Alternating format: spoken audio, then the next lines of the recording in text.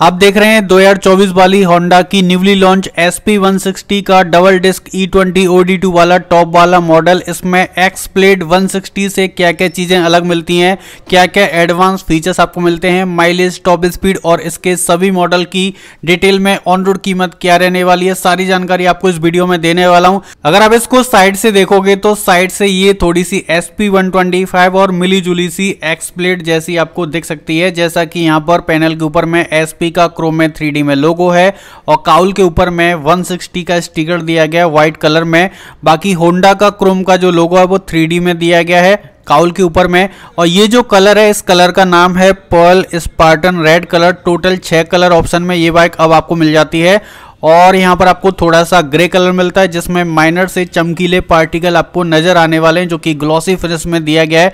बाकी यहाँ पर आपको ब्लैक कलर और व्हाइट कलर के ग्राफिक्स की स्ट्रिप आपको मिल जाती हैं, जो कि दिखने में काफ़ी अच्छी लग रही हैं। ये जो पार्ट है, इसमें थोड़ा सा एयर वेंट मिल जाता है, जो कि प्लास्टिक बॉडी का है। और ये जो काउल वाला हिस्सा है, ये भी आपको पूरा का पूरा प्लास्टिक बॉडी का मिल जाता है। कहीं भी आपको मेटल वगैरह नहीं मिलेगा, बाकी जो काउल वगैरह हैं, वो आपको एयर वेंट के साथ मिलते हैं। प्रॉपर हवा जो है वो यहाँ पर आती जाती रहेगी। बाकी ये भी प्लास्टिक बॉडी का पार्ट है, ये भी प्लास्टिक बॉडी का पार्ट है, पीछे वाला जो काउल है, ये भी आपको प्लास्टिक बॉडी का मिल जाता है।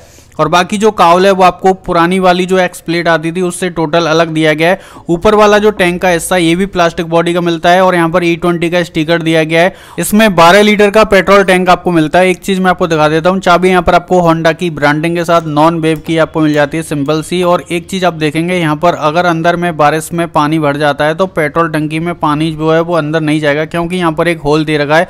इस होल के द्वारा जो पानी है, वो सीधा का सीधा नीचे निकल जाएगा। पाइप के थ्रू जो पाइप है, वो मैं आपको लास्ट में दिखा दूँगा। तो 12 लीटर इसमें पेट्रोल आता है। बाकी जो माइलेज है वो आपको काफ़ी अच्छा ये बाइक देने वाली है। अगर आप इसका पेट्रोल टैंक देखेंगे ना तो पुरानी वाली एक्स ब्लेड से टोटल अलग है। काफ़ी बल्कि और काफ़ी हैवी यहाँ पर फील होने वाला है। इस बाइक की जो हैंडल बार आप देख रहे हैं ना, ये आपको थोड़ी सी अपराइट मिलती है। अगर आप इसको गौर से देखेंगे तो ये थोड़ी सी आगे की तरफ़ झुकी है। तो बाइक को चलाते समय आपको हल्का सा ही झुकना पड़ेगा, बहुत ज़्यादा झुकना नहीं पड़ेगा। सबसे पहले आप इसके एग्जॉस्ट के साउंड को सुने, क्योंकि नया इंजन है।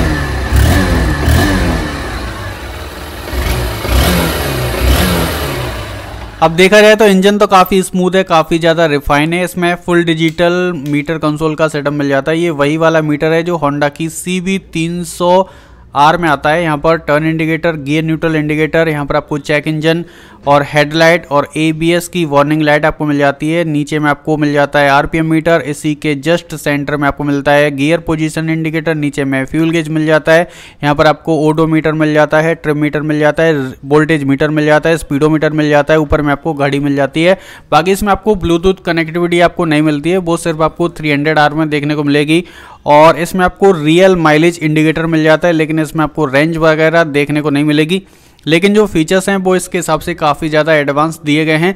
टॉप स्पीड की बात करूँ तो 118 किलोमीटर प्रति घंटे के आसपास इसमें आपको टॉप स्पीड मिल जाती है। बाकी जो सेफ्टी भी आपको काफ़ी अच्छी मिल जाती है। अगर आप इसको 70-80 से ऊपर में चलाते हैं तो थोड़ा सा सेफ़ फील करेंगे। बाकी इसमें सर्विस रिमाइंडर आपको मिल जाएगा और माइलेज भी आपको पैंतालीस से पचास के बीच में देने वाली है। बाकी यहाँ पर आपको पासिंग अपर डिपर इंडिकेटर और हॉर्न जो क्लच है, वो भी काफ़ी लाइट है। तो यहाँ पर सब कुछ आपको वही S P one twenty five वाला मिल जाता है। बार एंड भी आपको प्लास्टिक बॉडी के मिलते हैं। और यहाँ पर आपको इंजन के नीचे में हेजार्ड का बटन मिल जाता है, जो कि इसका प्लस पॉइंट बाकी जो ग्रिप वगैरह, वो भी आपको S P one twenty five वाली मिलती है, जो कि काफ़ी कंफर्टेबल है डेली कम्यूट करने के हिसाब से। सीट कंफर्ट की बात कर लेते हैं तो भाई सीट यहाँ पर आपको पुरानी वाली जो एक्सब्लेड थी, उससे काफ़ी अच्छी आपको मिल जाती है, जो कि काफ़ी लंबी चौड़ी है। अंदर की फॉर्म भी काफ़ी ज़्यादा मुलायम है उस बाइक के कंपेरिजन में इसमें आपको काफ़ी चौड़ी सीट मिलती है, सात सौ छियानवे एम की सीट मिलती है, जो कि एक्सप्लेट से एक एम ज़्यादा है। पीछे में आपको दो सौ एम की डिस्क आपको मिल जाती है, जैसा कि टॉप मॉडल है। पीछे में एबीएस आपको नहीं मिलता है बॉक्स वाला स्विंगार में आपको मिल जाता है। अगर इसमें एबीएस होता तो काफ़ी अच्छा रहता। पीछे में एक सौ तीस प्रोफ़ाइल का ट्यूबलेस टायर आपको मिल जाता है, जिसका पैटर्न कुछ इस तरह से दिया गया है। और 130 सौ mm चौड़े टायर होने की वजह से बाइक का जो लुक है ना, अगर आप इसको पीछे से देखोगे तो काफ़ी उभर के आता है। और यहाँ पर आपको मिल जाता है प्लस पॉइंट में मोनोशॉक एडजस्टेबल हाइड्रोलिक वाला सस्पेंशन जो कि आप एडजस्टमेंट भी कर सकते हैं। ये गंदा वगैरह ना हो तो यहाँ पर एक मट फ्लैप का इस्तेमाल किया गया है, जिससे कीचड़ वगैरह इसमें ना भरे। एग्जॉस्ट अगर आप देखेंगे तो ये काफ़ी ज़्यादा लंबा है, काफ़ी ऊँचा है तो पानी वगैरह जाने के चांस नहीं है। ऊपर में आपको एक क्रोम का बड़ा सा मफलर गार्ड भी मिल जाता है। प्लेन वाले जो फुट पैक्स हैं वो आपको फोल्डेबल मिल जाते हैं, जो कि रबर प्लस मेटल के हैं। बहुत सारी कंपनियाँ ये जो चीज़ है ना, वो आपको एल्यूमिनियम का बनाकर देते हैं, लेकिन ये जो बना हुआ है, ये मेटल का है, पाइप वाला, और यहाँ पर थोड़ा सा प्लास्टिक का यूज़ किया गया है। और ये जो राइडर वाले फुट पैक्स हैं, ये भी आपको फोल्डेबल मिलते हैं, जो कि थोड़े से पीछे की तरफ़ दिए गए हैं, और ये है भाई इसका ब्रेक पैड का लीवर, जो कि थोड़ा सा छोटा है। किक स्टार्ट यहाँ पर आपको कुछ इस तरह से मिल जाता है, जो कि इसका प्लस पॉइंट है। होंडा की ब्रांडिंग है। 177 mm की ग्राउंड क्लियरेंस आपको मिलती है, जो कि एक्स ब्लेड से काफ़ी ज़्यादा है। और यहाँ पर जो इंजन गार्ड आप देख रहे हैं, ये आपको मेटल बॉडी का मिलता है, जो कि प्लास्टिक बॉडी का नहीं है। और ये कैटेलिटिक कन्वर्टर भी आपको पूरा का पूरा कवर्ड मिलता है। ऊपर में ऑक्सीजन सेंसर दिया गया है। इसमें आपको मिलता है 162 सीसी का air cooled four stroke B S engine जो 13.46 पीएस की मैक्स पावर देता है और चौदह पॉइंट का टॉर्क पैदा करता है। तो एक्स ब्लेड के मुकाबले इसमें जो पावर है, वो पॉइंट चार एन की कम मिलती है और जो टॉर्क है वो पॉइंट टू एन का कम कर दिया गया है। एक्स ब्लेड बाइक के मुकाबले तो इस बाइक के फ्रंट में आपको सिंगल चैनल एबीएस मिलता है। 276 सेवेंटी mm डायमीटर की डिस्क ब्रेक यहाँ पर आपको मिल जाती है। ये है इसकी एबीएस वाली प्लेट और यहाँ पर आपको निसन के कैलिबर मिल जाते हैं। तो इसकी जो सेफ्टी है वो 90 तक आपको काफ़ी अच्छी मिल जाती है। रिफ्लेक्टर फ्रंट में टेलीस्कोपिक सस्पेंशन आपको मिलते हैं, जो कि ब्लैक कलर में है। एबीएस की ब्रांडिंग है। आगे वाला जो मडगार्ड है, वो पुरानी वाली एक्सब्लेड से टोटल अलग है, जो कि काफ़ी लंबा चौड़ा है। बिल्ड क्वालिटी भी काफ़ी अच्छी है। आगे वाला जो टायर है, वो आपको अस्सी, सौ प्रोफ़ाइल का मिलता है, जो कि सेम का सेम आपको मिल जाता है, वही वाला जो आपको पुरानी वाली एक्स ब्लेड में भी इसी प्रोफ़ाइल का ट्यूबलेस टायर मिलता था। सत्तर इंच का एलॉय है और बाकी फ्रंट पोर्शन की बात करें तो इंजन को मैं स्टार्ट कर देता हूँ। बाइक की जो हेडलाइट है वो एस पी जैसे ही दी गई है। और एक्स ब्लेड की उतनी ज़्यादा अच्छी नहीं थी और यहाँ पर हेलोजन वाली टर्न इंडिकेटर मिल जाते हैं। विद हेजार्ड के साथ ऊपर में आपको एस पी जैसा विंड स्क्रीन मिलता है। नीचे में होंडा की ब्रांडिंग है। स्प्लिट एलईडी हेडलाइट आपको मिल जाती है। लेकिन एक चीज़ मैं आपको बता देता हूँ, जो एक्स ब्लेड आती थी, उसकी जो हेडलाइट थी, उसको बहुत ज़्यादा लोग पसंद नहीं करते थे। बहुत ज़्यादा दिखने में रोड प्रेजेंस आपको उतनी ज़्यादा खास नहीं लगती थी, जितनी इसकी लगती है। और यहाँ पर आपको वाइजर मिलता है ग्लॉसी रेड कलर में। तो लुक्स के हिसाब से ये आपको एक्स ब्लेड से ज़्यादा बेहतर नज़र आने वाली है और फीचर्स भी इसमें आपको उस बाइक से ज़्यादा मिल जाते हैं, लेकिन पावर और जो टॉर्क है वो थोड़ा सा कम मिल जाता है। पीछे की तरफ़ चलते हैं तो सिंगल पीस ग्रैब हैंडल है और जो टेलाइट है वो भी आपको एक्स ब्लेड जैसी ही मिलती है एच शेप में। और पिछला जो पोर्सन है वो उतना ज़्यादा इस बाइक का खास दिया नहीं गया है।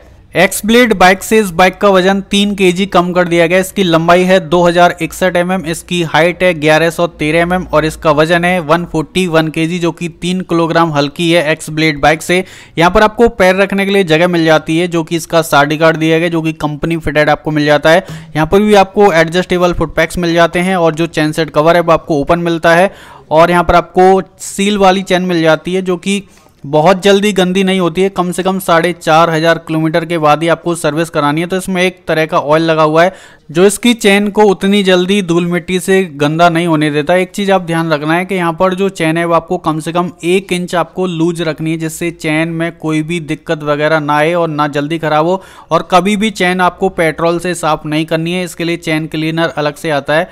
और बॉक्स वाला रेक्टेंगुलर स्विंगार में आपको मिल जाता है। गियर आपको इसमें पाँच मिलते हैं, पहला नीचे और चार गियर ऊपर की तरफ़ डाले जाते हैं। गियर इसका काफ़ी ज़्यादा बॉक्स जो है वो स्मूथ है प्रॉपर एक बार में शिफ्ट करता है, एक बार में डाउन शिफ्ट करता है। नीचे में दो पाइप दे रखे हैं, एक पेट्रोल का है, दूसरा इसका पानी का है, जो कि नीचे की साइड में इसी पाइप के द्वारा निकल जाता है। नीचे में side stand engine cut off sensor का फीचर्स दिया गया है।